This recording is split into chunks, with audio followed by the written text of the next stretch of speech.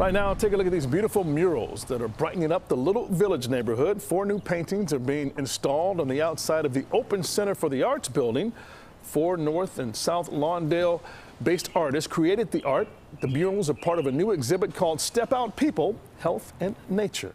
Certainly like the bright colors, but as we look in the sky, not a lot of things brighten this up today. I know. I kind of like seeing those murals and all the bright colors kind of with a little pep in your step on what's going to be a gloomy next couple of hours and a little bit dreary, drizzly, damp. As we take that live look outside, you can see those low hanging clouds out there on a damp Thursday. So as we look at the big picture, we have this nice swath of rain that's pushing on through and we have a couple areas hanging on where we still have more meaningful showers. I'm looking farther north, but areas like out toward McHenry, we're already on that back edge for those showers. That's going to continue pushing off toward the east all the way out through Waukegan. You still have about another another uh, 45 minutes or so before things look much calmer in your backyard. Swinging out toward northwest Indiana, same deal here. We're already seeing that back edge of that shield of rain that's pushing on through.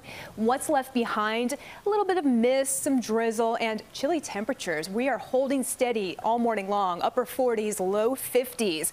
Out at the loop, it's 49. Evanston, mid 40s. Wheaton, 49 degrees, and Bolingbrook, 53. So the rain showers that we have out there will slowly begin to taper off as we go over the next couple of hours and then clouds begin to break apart. So as we go over the next several hours later on this evening, should be nice and sunny before that next little push of energy comes through. Tomorrow morning, we're going to be waking up to mostly dry conditions, but Friday, we're still standing with the chance for a quick passing shower in some spots.